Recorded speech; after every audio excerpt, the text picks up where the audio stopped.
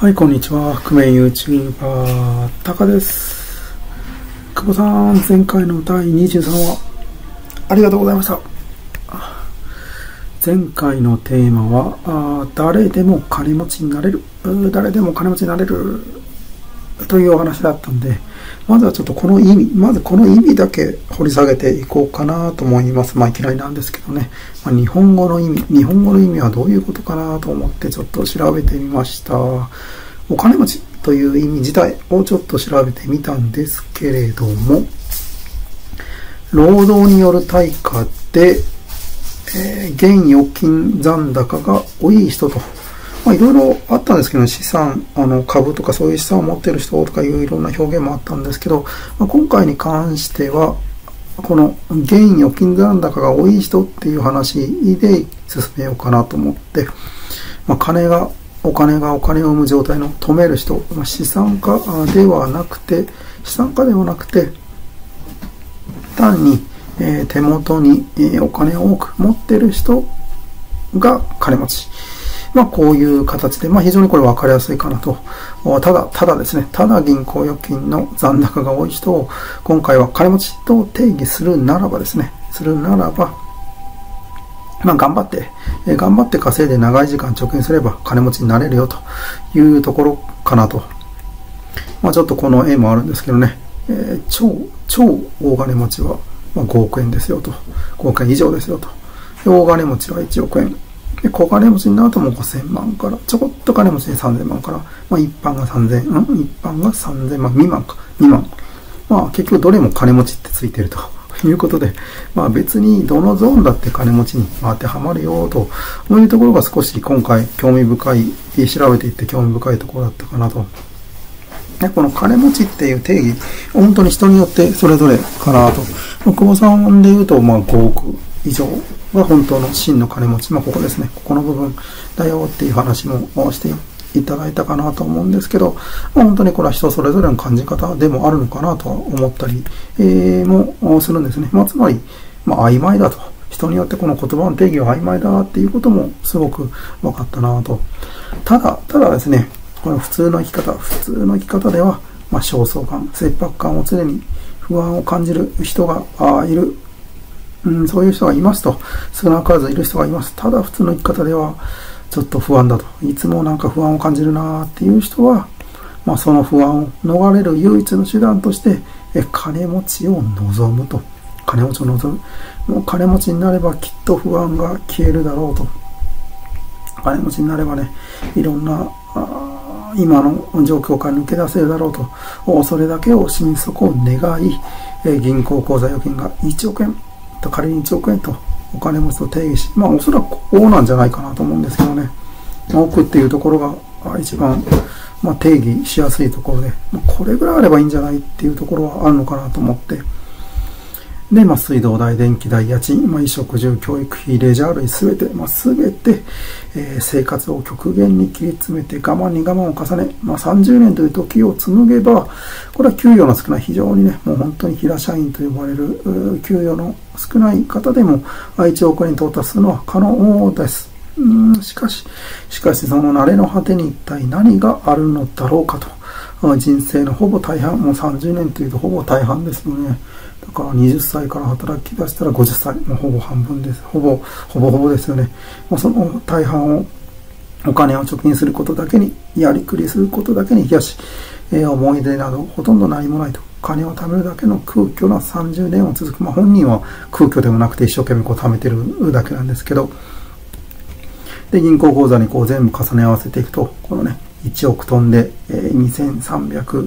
2324万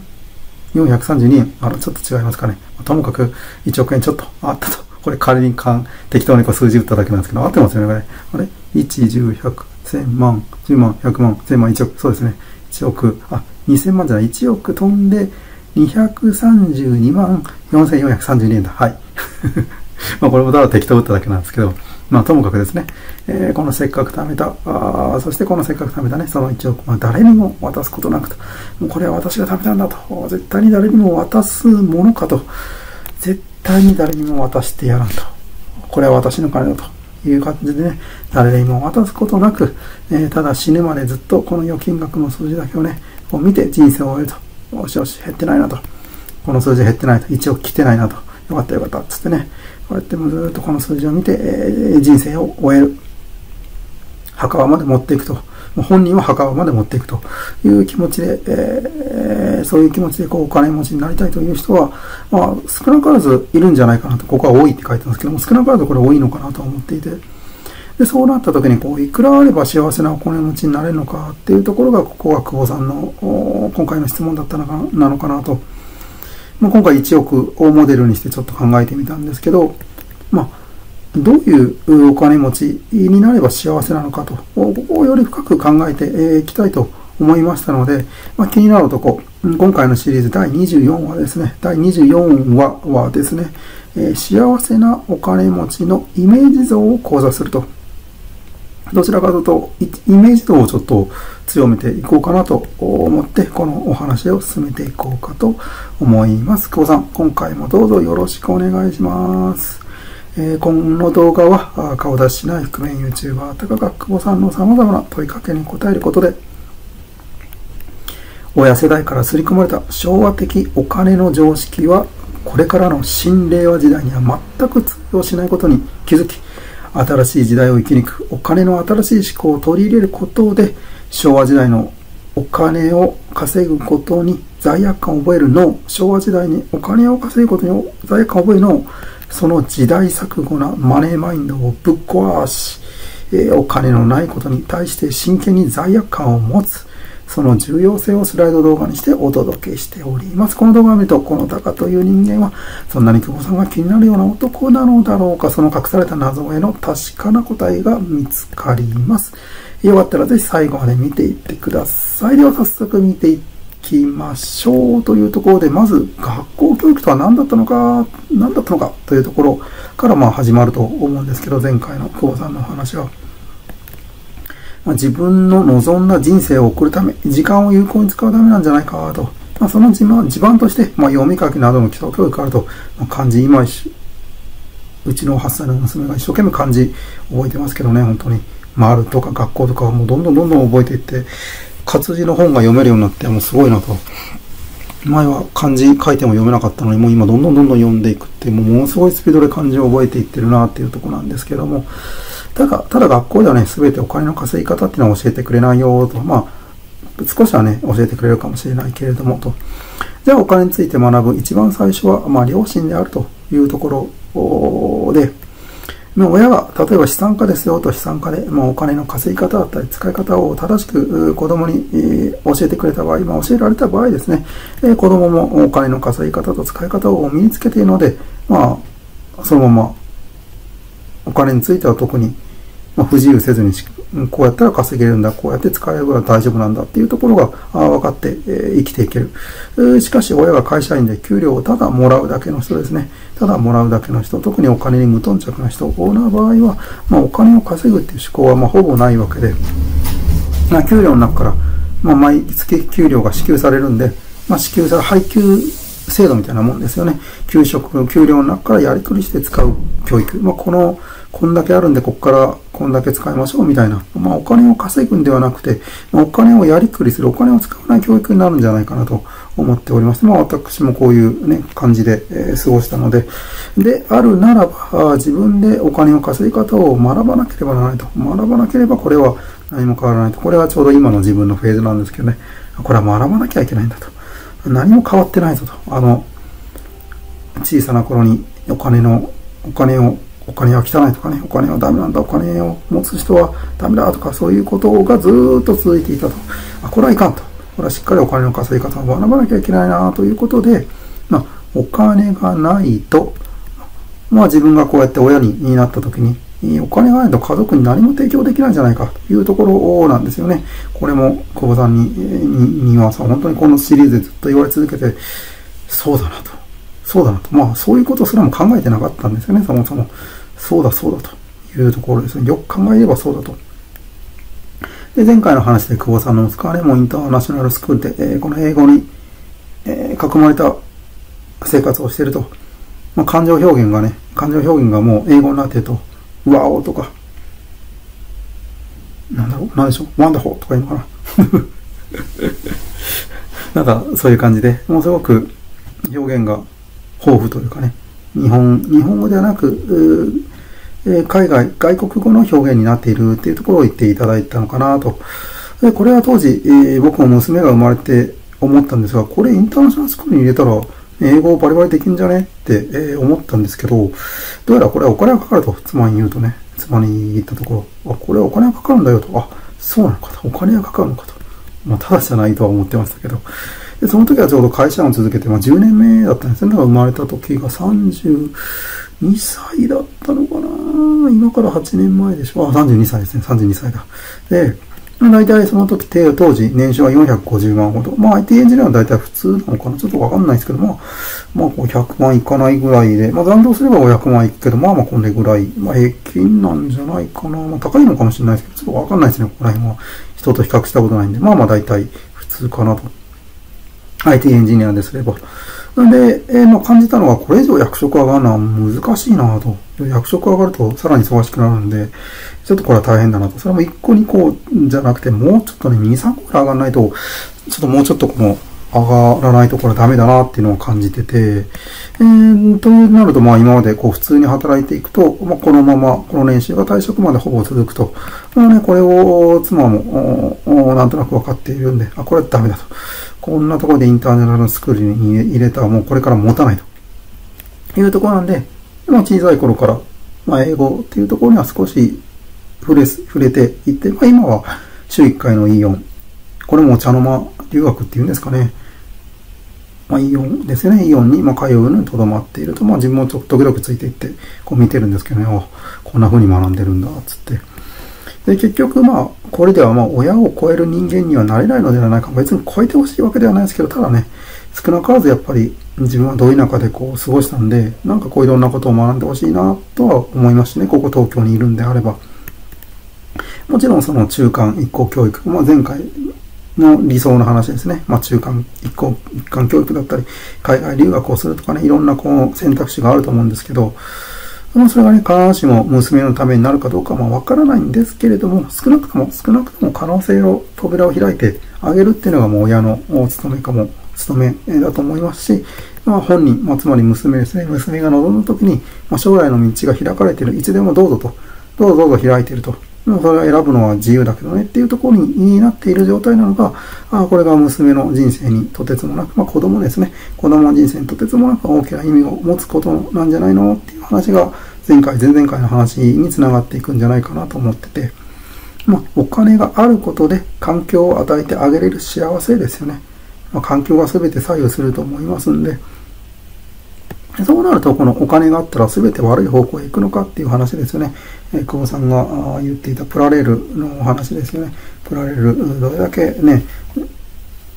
買いすぎて、えー、ダメな方向に行くのかっていうとこも例にとって言っていただいたんじゃないかなと思うんですけど、まあ、そのお金がない方の方が隠れた我慢をさせているのではないかと。あればね、別に、その、いろいろ買いましたと、その中で、えー、使わないもの、使うもの、あって、それで学びがあるじゃないですか。ある、学びがあるじゃないかと。あ、これは使わなかったな、買う必要がなかったなって、えー、学びもあるけれども、ないものに対してないから、ないで終わっちゃうんで、これ以上ないので、結局我慢しかないと。我慢しかないんじゃないかっていうことで、お金を持っていることに罪悪感を持つ感情は正しいのかと、これはもう前回、前々回ずっとこのシリーズを通して、久保さんが発し続けていたメッセージかなと思いますし、これを自分が受け取るためのシリーズ、まあ、20回くらいまでだったんじゃないかなと思うんですけどね、本当にこれ、その悪いのかと、まあ、これは昭和の時代の考え方っていうところですよね。倹約が美徳っていうところの。で、これですね、むしろお金がないことに罪悪感を抱えるべきなのではないかと、この感情の、ここの変化ですよね。認識の変化。この認識の変化をしっかりこう受け止めていかなきゃいけないなと、ちょっともう一回自分のためにも言うんですけど、お金を持っていることに罪悪感を持つ感情は正しいのか、むしろお金がないことに罪悪感を罪悪感を抱えるべきではないんだろうかと、お金に対してリスク、リスク、リスクをしっかり対処できる慎重さをしっかり持っていれば、別にそのお金があったとしても、もうしっかりとこの持つことに罪悪感を持つんじゃなくて、しっかりとお金を持った時に、そのリスクに対処できる、心構えというか慎重さ、そしてこの慎重さを持ってお金の知識を日々学んでいく、この姿勢こそが大切なのではないかと、持つことに罪悪感を感じるんではなくて、え持たないことにこれはやばいんじゃないかというところが大事なんじゃないっていうところが、まあ、考えているようになってきたなと。いうところで少し話は変わり、今度は金持ちについてという話に、え進もうかと思うんですけど、まあ、前回の話ですね。え、金持ちなんてろくなもんじゃないんだよ。金持ちは悪いんだよっていう話。え、これは昭和時代の考え方ですよね。え、しかし、よくよく考えてくださいという話で、えサラリーマンの障害賃金は約2億円から3億円、え稼ぎますよと。これちょっとどっかから表を引っ張ってきたんですけど、もう大学卒だと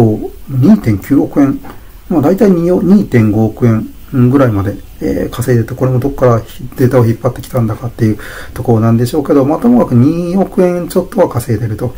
じゃあ、サラリーマンって何っていうところなんですけど、これは久保さんの言葉をお借りするんですけど、まあ、リスクを会社に押し付けと。リスクを会社に押し付け、リターンだけ得る。えー、これがサラリーマンですよと。そして、え、人から言われた仕事だけをこなす。そして保証がある人生。え、これがサラリーマンですよと。え、もちろん、もちろんね、組織の中で頑張る大変さはあるかもしれませんけれども、けれども、まあ、それをしてれば、えそれでも2億円、3億円は、え稼ぐことができるんですよと。表現が悪いですけど、こうやってね、え人から言われた仕事だけをこなす保証がある人生。えー、なのに、リスクも何も取らないんだけども、2.5億円、まあ、2億円以上は稼げてる、稼ぎ出しているんだよと、この現実があるんですよと。じゃあ、これって億を稼ぐ人は本当に金持ちなのかというところの話になっていくと。え、家のローンが終わり、家族は無事に食べていける。これがまあ2億円、3億円、2億円のところなんじゃないかなって、いうところですよね、え、本当の金持ち、本当の豊かさというのはもっと先、え、5億よりもその先の10億稼げで、これが本当のお金持ち、プライベートジェットだったり、あと何なんでしょうね、宇宙に行くとかなんですかね、ちょっとわかんないですけど、本当にその、ま、ここですね、ここ、ここの、ここ、ここ、ここ、これより上、これより上が、本当のお金持ちなんじゃないかと。それ以外は別にお金持ちだけど、金を持ってると。お金を持ってるだけなんじゃないのっていうところに、ちょっと思考を少し考えていって、じゃあね、どのレベルが本当の金持ちなんだと。どのレベルが本当に金持ちなんですかっていうね、いうところを考えると、そしたら今度ですね、どれも全部金持ち、金を持ってるならお金持ちじゃないかといういうところで、うんじゃない、どのレベルが本当に金持ちなのかと。で、少しこの答えを考えていくと、なんかうまくステレオタに答えられなくなってきたので、えこれじゃ話が進まないので、まあ、し、じゃあね、幸せなお金持ちを、お金持ち像っていうのをイメージしようと思ったので、ちょっとこれから始めて、この話を進めてみようかなと思います。ここから完全に自分の考えなんですけど、衣食住でいう、まあ、住から行こうかなと分かりやすい住から、住みかですね。住みか。まあ、例えばこの広い家に住んで、例えば10部屋ぐらいと、10部屋ぐらい。うんと子供が自由に家の中で走り回れる環境で子育てをする。これが幸せな家庭のイメージなのかなと。まずはこれをするのがいいのかなと自分も思ってたんですけど、まあこれはその自分が北九州のど田舎で生まれ育った家が、まあ、大体これぐらいの広さだったんですね。家の中で走り回ったり、こう逆立ちしたり、ジャンプしようが何しようが、まあ誰も何も言わないとは自分の家なのでね。で、今こう住んでる家がまあ、賃貸なのでね、まあ、当然上も下も右も左も人がいるわけで、まあ、これ東京って狭いなと。で、まあ、まあ狭いのも悪くないんだけどなとは思いながらも、まあ別にそんなに不便は感じてなかったんですけど、これ娘が生まれてからこれ大丈夫かなって思い出したんですね。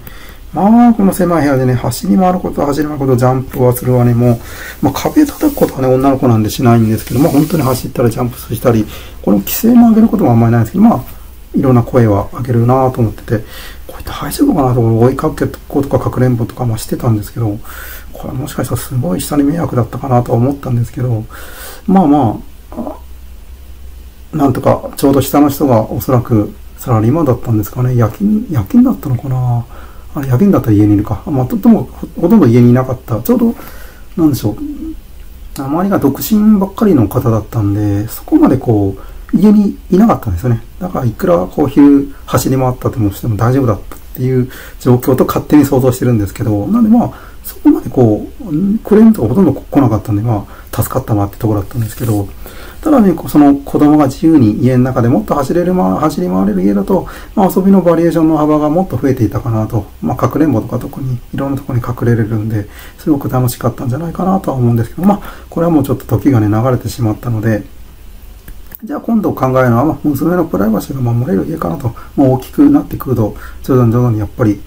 ね、住んで一緒に住んでいるといろいろあると思いますね。特に年頃の娘となるとね、やっぱどうしてもね、えー、お父さん、父親っていうのは少しね、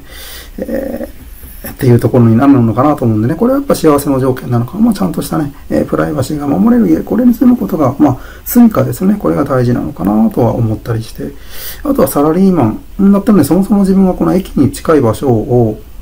選んだんですけど、これ全くも意味もなさなくなったというところなので、なすみかっていうのは本当にやっぱりフェーズごとに変わっていくもんなんだなとはすごくとても感じますね。うん。はい。ということで続いて食ですね。食。これも全くね、食に興味がなくて、えー、申し訳ないんですけど、まあでも、これ最近分かったのは外食というのはこの家族として過ごす非常に大切なあ時間っていうのが分かったんですよね。その、いつもの家でご飯を食べるっていうのは全然いいんですけど、そうではなくて、この外食っていうのはやっぱり家族のつながりをより、えー、強くするもんだなっていうのはすごく感じて、基本はその家でもいいんですけどね、何かこう特別な時ですね、お祝いする時だったり、まあなんか今日は外食行こうかみたいなね、今日はちょっといつも家だと、はい、気が詰まっちゃうんで、今日は外で行こうかみたいな時にね、まあ例えばその娘が誕生日の時とかね、寿司屋に行くとか、ただね、えー、エビフライ食べたいとかね、まあ何でもいいんですけど、そんなことを言い言い出した時に、おし、じゃあ行こうかと、今日は行くかっていうところがね、こういつでも行けるような、やっぱりその、そのような経済力っていうのはやっぱ必要だなと。自分は別にね、食はどうでもいいかもしれないですけど、その家族がやっぱり、今日はちょっともう家でご飯作るのは嫌だわと。大津がね、もう作るのは嫌だわと。今日は外に行って食べたいわという時にいつでも分かりました。じゃあ行こうという時にこう、やっぱりこう経済力っていうのは本当に必要だなと。必要な時に必要なお金が使える。これが本当に、えー、幸せな条件なのかなと。まあ、会社員でもその会社がね、忙しくてお金があってもいつも時間が取れないっていうところ、特に IT エンジニアはやっぱり残業がすごく多かったので、えー、特に納期も厳しかったりして、なかなかその、ポンと、ポンと、今からじゃあ、明日休み取らせてくださいっていうのはなかなかやっぱりメンバーの状況もありましたし、プロジェクトの進捗具合だったりもありましたし、なかなかやっぱ時間が取れないっていうところがあったので、まあ、じゃなくて、じゃなくてですね、まあ、必要な時に必要なお金が使える。ここに書いてるんですけど、あと時間ですね。必要な時間、ゆっくりとした時間も使える。まあ、これが幸せな条件なのかなとも考えています。そして最後に、えっ、ー、と、衣食住のいか、い、衣、い、で、これサラリーマンの時に、まあ、ずっといつもこう考えたんですけど、なんでこのスーツとか着なきゃいけないのかななんでネクタイ締めなきゃいけないのかななんでズボン、ね、黒いズボン履かなきゃいけないのかそして革靴、夏は暑いし、えー、さらに白い T シャツ、まあ別に白くなくてもいいんでしょうけど、まあ白い T シャツに黒い靴下、黒いカバンと、まあ別にそこまで決まってなかったんですけど、まあ、やっぱりね、あまり目立つ格好は良くないなということで考えたんですけど、これいつもやっぱ窮屈だなとは感じてたし、夏は汗かくしみたいな。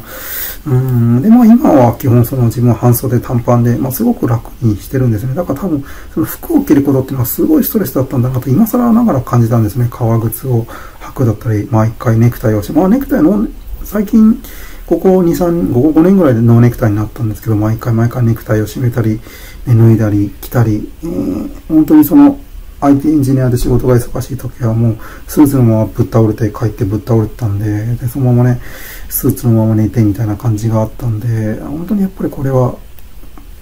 そこも小さなストレスを感じたんだなと。今はもう起きた瞬間に仕事に取り掛かりますし、まあ、そもそも通勤の1回の無駄が全くないと。これは本当に、いや東、東京は特に満員電車が常ですから、このストレスが全くないと電車に乗るまでの徒歩もないし、電車に乗っても、電車に乗る辛さもないし、電車に降りての辛さも何もないと。着替えも不要だと。まあ、着替えていうかそのままでいいし、で、夜も眠くなるまで限界までこう仕事ができる。これは本当に自分の幸せでしたね。やっぱ IT エンジニア時代もずっとパソコンの前に向かって仕事はしてましたけど、これ、吉谷さんも言ったかずっとね、なんかね、ずっと寝泊まりしてたとか言ったのか、会社で。うん、自分は寝泊まりまではしてなかったんですけど、もう普通に、まあ仕事はね、夜遅くまでに11時とかまでやってましたんで、ただ帰るのがいつもめんどくさいなと思ったんで、もうちょっとさせてくれればいいのにとか思ったんですけど、まあね、結局でも1時とか2時に徹夜した時眠くなったんで意味ないんですけどね。ただちょうど20、10時とか12時に、12時とか11時になった時に、あ、もうちょっと欲しいな、みたいな、いう時あるんですけど、本当に今はね、もう限界までできるし、もうやりきれるっていうのが本当に幸せかなと思ってて、もうね、そのちょっとね、キーボードに手を置いて寝たりもしたりもしてるんですけども、それはご愛嬌みたいなもんで、別に眠くなったらね、本当にちゃんと寝るなら布団に寝ればいいだけなんで、もうちょっとしたいんだけどな、つってうとうとしてるぐらいのレベルなんで、で、あとはね、別に、娘がやってきたら、こう、作業中断すればいいだけなんで、まあ、これがリモートワークの時に、その仕事が、仕事開始連絡とか、仕事終了連絡とか、中断連絡とか、勤務表の入力何時間何時まで入れましたよっていう、もうこのね、本当に入力がすごく大変というかめんどくさくて、なんでこんなことしなきゃいけないのかなってはずっと思ってたんで、まあね、当然なんですけどね、これは。これやっぱりちょっと無駄だよなとはずっと思ってたんで、だから本当今の状態っていうのが、こうやって、えー、自分がこう求めていた、まあ最高の仕事環境が訪れたなと。まあ、今まではちょっと子供の子育てっていうのはすごく多くを占めてたんですけど、今本当にもう子供が今学校に、今もちょうど学校に行ってるので、本当にこうやって自由に、まあ自由にって言い方があるんですけども、ずっとパソコンに向かってさせ、仕事をさせていただいている状態なんで、ありがたいなと、誰も邪魔されないと。上司からいきなり呼び出しとかないから、こんな幸せなことはないなと思ってて、まあこれ全然ちょっと服のことから話が外れてしまって申し訳ないんですけど、ともかくその、妻よ、妻もね、娘も、まあ女の人ですからね、まあ好きな服がいつでも買える状態っていうのはやっぱり、えー、幸せだなと思ってて、まあ、高い買い物はそもそもまあしないんでね、皆さん、皆さんっていうか、うちの家族の人は、まあ、もう何でもこう、いつでも選べると、まあこれぐらいならいいか、これぐらいがいいかってね、こうやってこう選択できる自由ですね。選択できる自由がある、あるのがやっぱり幸せの条件だなとは非常に考えていますね。はい。で、ここからあ今までの話のまとめになっていくんですけども、まあ、つまるところですね、結局自分が考えたのは、まあ、どれだけ貯金額があるかっていうところもあるとは思うんですけど、まあ、そこも当然必要だと。なんですけど、このライフステージごとにいつでも使えるお金がちゃんとあることなのかなとは思ったんですね。これが幸せの条件なのかなと考えて、まあ、もちろんその、子供が大きくなるにつれ学費とかね、必要な値段っていうのは当然弾き出す必要はあるんですけど、まあ、ともかその自分はですね、まず自分の幸せを考えると、まあ、別に僕はその誰からの呼び出しの用事もなければ、まあ、基本的に用事はないんですけど、もうパソコンに向かってもう作業できていれば、今はこう単純に幸せなんですね。こうやってまあ、スライドを作って、えー、喋って撮るみたいな。ああ、これはもう僕にとって誰にも邪魔されずに、えー、あれ同じこと言ってます？あれあ、いいのか。あれ もう一個入れることがまあね、このような幸せだったんですが、昔その小さい子供、まだ娘が小さい頃は、家でこう、スライドを作ったとしても、まあ、スライドを作ってもその、声を出せないんですよね。やっぱ小さい娘がいるんでね。なんでわざわざその、なんだろう、ネットカフェみたいなところに行ったりして、わざわざ収録するとかもすごく大変だったり、まあ外、あとは外で公園で撮ったりもしてたしね、なんか夏は蚊に食われながら撮ったり、冬や冬でもブルブル震えながら撮ったりもしてたり、まあスマホ1台で撮れるんで、まあいくらでもやり方はあったんですけど、でも今本当にね、家で仕事、作業ができ、させてもらえる。あとはその、コワーキングスペースみたいなとこ借りてそこでもやってたりはしてたんですけど、なかなかその家の中でできない時は。まあでも本当に今って今家で作業できるんで、本当に快適かなと。昔はその家が狭かったんで廊下で仕事せざるを得なかったんで、部屋そもそもなかったんで、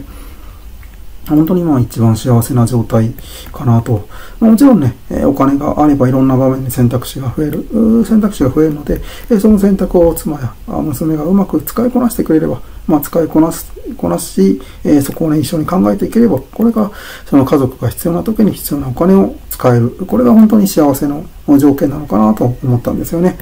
そして僕は僕でですね、自分を慕ってくれるやっぱり塾生さんがこうやって毎回毎回結果報告って言ってね、今日もこんなことやりましたっていう連絡をくれたり、今日もこうやって頑張りましたってね、えー、話をしてくれたりね、この報告をするために今日頑張ったんですみたいなね、やっぱ声をいただくと、あ、これやっぱり、いや、生きててよかったなと思いますよ、本当に。この報告をするんで今日一日頑張れましたとか、うん、そういうことを言われて、やっぱり、あね、なんかこれは、あやっぱこのお仕事はぜひとも続けていきたいなと、いや、これ続けるべきだなっていうのを思いますので、やっぱね、こうしっかりとサポートし続ける体制っていうのをずっと維持し続けたいなと思いますし、え、こうやって今回久保さんと気になる男シリーズっていうことが、ま、始まったことで、さらに、その、見てくれる人っていうのが本当に多くなったと思うんですね。ちょっと自分の感覚ではわからないんですけど、おそらくそこはかなり広がっていると思うことで、まあ今まで自分のメディアでは全然届かなかった声が、その誰かが久保さんのチャンネルを通して、えー、気づきだったり、まあ、発見することで、個人性が変わったり、あ、ちょっとこの人面白いな、みたいな、まあ、気になるなですね。いわゆる気になるな、あ面白いのか、もう、こんなの俺でもできるわと、俺もやってみようかな、みたいなね。まあ、そんな気持ちになってくれる人が、あ、いたりね。なんかちょっとこのやりとり楽しそうに見えるなと、なんか参加してみたいなみたいなね、そういう人がこう増えていけると、これもっともっとこう楽しくなるんじゃないかなとは思ったりするんですね。まあ、これね、これがその、なんだ、理想論とかね、甘いとかこんなことやってもしょうがないじゃないかみたいなことは言う人も当然いるとは思うんですけど、まあ自分の中でもこうそういう輪がね、広がっていくことが、まあ幸せなんじゃないかなと単純に思ったりもしたんですよね。まあ、結局その最後までよくまとまって いない状態になったんですけど、まあ、究極その本人が一番幸せであることをやり続けるっていう環境、これはその娘がやりたいことができる、え妻がこういうことがやりたいっていうことができる、そして本人が、あこれがやりたいっていうことをやり続けれるっていうことが、その、その続けれる、維持できるっていうことが、その無常な幸せにつながるんじゃないかなと思うんですね。その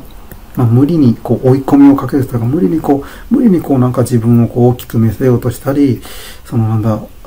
お金を使ってなんかこうするんじゃなくて、まあ、リラックス状態、本当に自然体で生きれる状態で、まあ、自然体だとも心がそんなにざわめかないんで、無理してこう、なんか他人のことなんか気に、そこまで気にしなく、気にしなくていいんで、まあ、心が静かに保てる状態で、そして、それがね、ぶれない気持ちになるので、まあ、ぶれないということは日々同じことが積み重ねていける状態になるので、まあ、それが本当に積み重なって、それが幸せにつながる。もし積み重なってというか、今やってること自体がこう幸せなので、現在進行形で、えー、が、現在がその幸せ、なのでずっと続いていくんじゃないかなと思ったりもするんですけどね。まあ、今こうやってこうスライドを作って、まあ、こうスライドを作ったのが、もうちょっと前で、その後こう、話してるんで、ちょっと、ちょっと時間差のタイムラグはあるんですけど、まあまあその、今このスライダーをつけながら感じてる次第でありますという感じですね。はい、ということで、それでは、気になる男、第2、あ、お帰り。えっと、気になる男、第24話。幸せなお金持ちのイメージ像を考察するということで、えーあれ？同じことを書いてな。幸せ、あ、いいんだ。幸せな、イメージする？えー、ということで、なんともお締まりのない気がしますが、まあ、ちょうどね、娘がちょうど帰ってきたところなので、えー、そろそろ、そろそろ、そろそろなので、えっ、ー、と、えー、なんと自分がこうやってることが自分の、今やってること自体がこう自分の学びとなり、そしてそれを見てくれる人が何かしらこうプラスと感じ、その輪が広がっていく。これはその久保さんとやり取りを始める一番初めに言っていただいたところかなと思うんですけど、はい別にウィンウィンモデルでもっていうわけでもないし、片方ウィンっていうでもないと。っていうことがすごく印象に残ってるんですけれども、まあ、ただやりたいからやっているっていう感情、もう応援したいからやっているというかね、えー、素直な感情っていう、この全くこの感情時代に無理がない状態。なんかこう、こうなるからこうやるんだみたいな、こうするからこうなるんだみたいな、こういうところじゃなくて、もうだから、別にそんなに、そんなにそうそうでないって、そんなにそうでないって表現があれなんですけど、まあ、ともかくそう無理ない状態っていうのがやっぱり、まあ、一番幸せな状態なんじゃないかなとは思い、今今回は終わらせていただこうかなと思います。はい、ということで、ここまでの放送は、覆面 YouTuber タカがお送りいたしました。ありがとうございました。そして、そして久保さん、次回第25話もよろしくお願いします。はい、それでは。